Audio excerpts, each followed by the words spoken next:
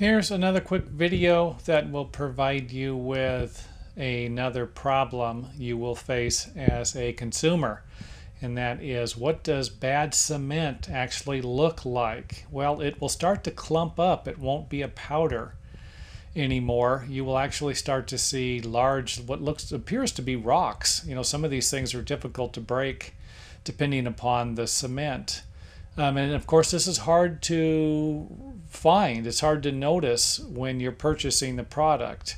You know, sometimes you're going to be able to feel the bag and feel some of the, you know, if it's hard or not, but most of the time it's going to be hard to figure out because it's uh, so densely packed to begin with. But uh, the cement's going to need to be a powder, a powder form. It will not have any clumps in it.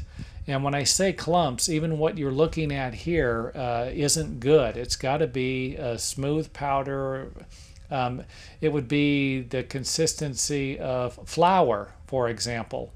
You know, um, it would look something like that. Uh, it wouldn't have any lumps, any any anything that would be larger than a pebble. Let's just say um, maybe a quarter inch in diameter. That that could create a problem.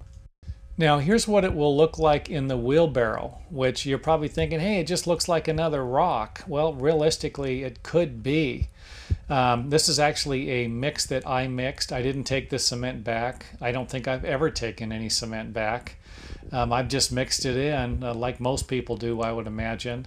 But if you're doing something structural, than um, you know like a concrete footing or something like that then you might want to think twice about it or get some more information on how this is going to affect the finished product.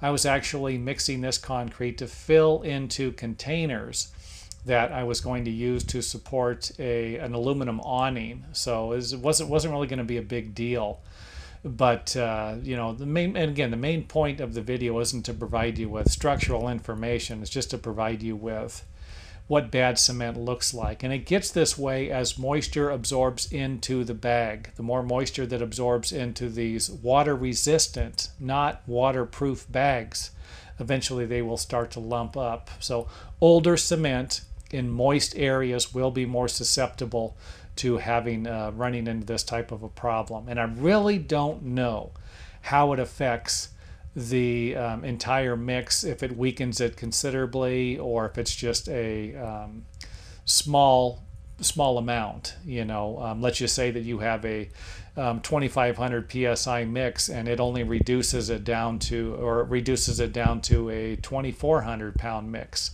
then that might not be that big of a problem but uh, uh, obviously this wouldn't be something you would get at a if you ordered ready mix concrete.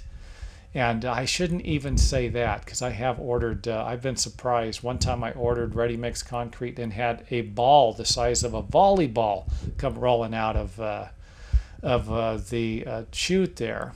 Um, so obviously they they do um, at ready mix places they do recycle older concrete so you could end up with uh, a problem there so anyway just thought I'd throw that out there um, if you like the video feel free to hit the old thumbs up button and uh, who knows maybe there's someone out there that can provide us with the information on how much something like this um, would affect the consistency or the strength of the concrete as a finished product.